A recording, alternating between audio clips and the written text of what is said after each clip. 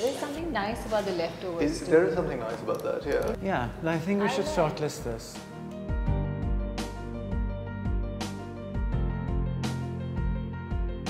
I don't know if it'll work. Let's revisit it when we. Yeah.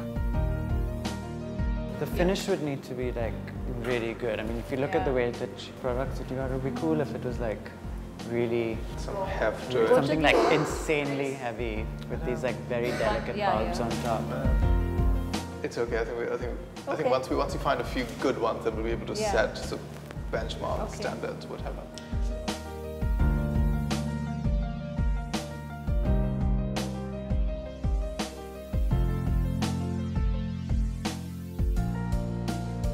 So it's this box hmm. where this becomes a seat and then go that, you know, so in the front view it's like that.